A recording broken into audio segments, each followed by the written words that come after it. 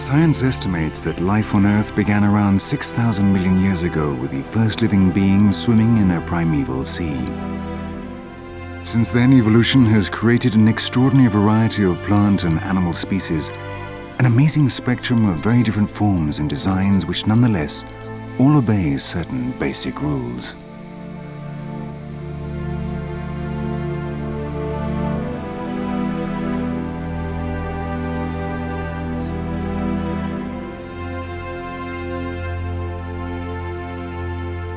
All the animals and plants we can see today are victors in the struggle for survival, a struggle in which many others have been left by the wayside. There is not a single one, however insignificant it may seem, that is not a master at something. The game of life has absolute, unbending rules, the laws that govern natural selection. Every change introduced by the genes is carefully examined to determine whether this particular variation makes the species more or less competitive. In time, the evolutionary lines that don't work will die out, while those that introduce improvements to the original model pass on these advantages to their descendants and so survive. As simple and as complicated as that. However, everything comes at a price. This anteater is the best at what he does, but he would be incapable of eating anything else. He now depends completely on ants and termites.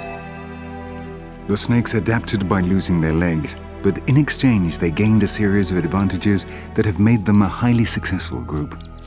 Once a given path is chosen, there is no going back, and often a simple change in the surroundings can leave entire lineages of animals stuck in a dead end.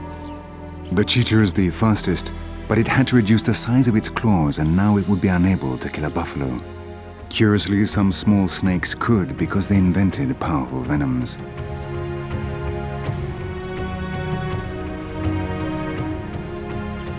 In this arms race, only one branch chose to invest all its energies in a single organ, the creative brain.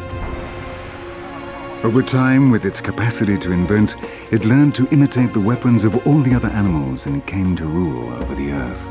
Now this same mental capacity that brought success runs the risk of turning into its worst nightmare.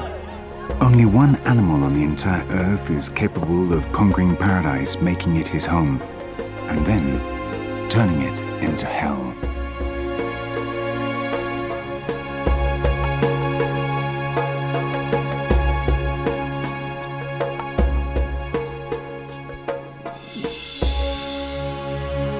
And the game is by no means over.